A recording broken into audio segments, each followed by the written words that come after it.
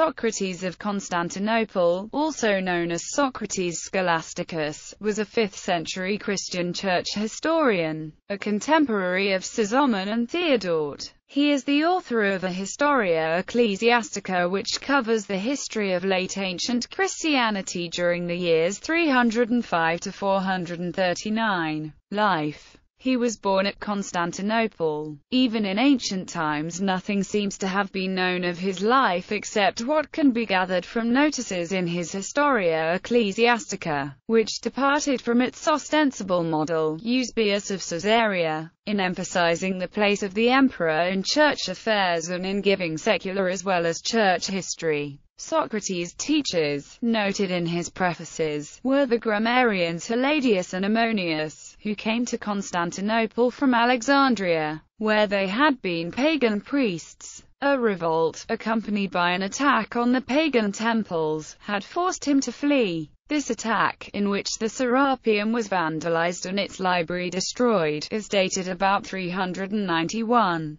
That Socrates of Constantinople later profited by the teaching of the sophist Troilus is not proven. No certainty exists as to Socrates' precise vocation, though it may be inferred from his work that he was a layman. In later years he traveled and visited, among other places, Paphlagonia and Cyprus.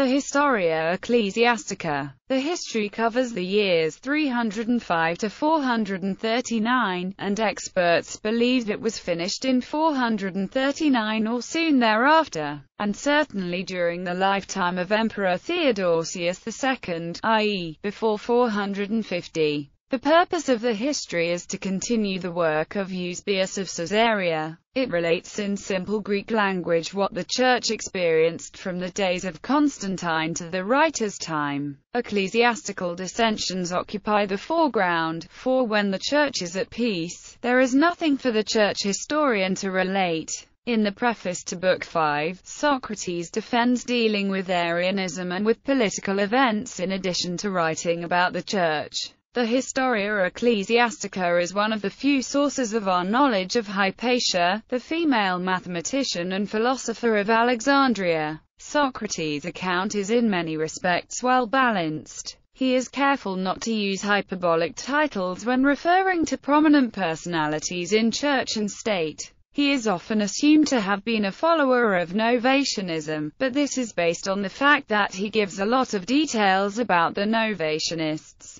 and speaks of them in generous terms, as he does of Arians and other groups. He speaks of himself as belonging to the Church. Socrates asserts that he owed the impulse to write his work to a certain Theodorus, who is alluded to in the Proemium to the second book as a holy man of God, and seems therefore to have been a monk or one of the higher clergy. The contemporary historians Sozomen and Theodoret were combined with Socrates in a 6th-century compilation, which has obscured their differences until recently, when their individual portrayals of the series of Christian emperors were distinguished one from another and contrasted by Hartmut Leppin, von Constantin dem Grossen zu Theodosius II.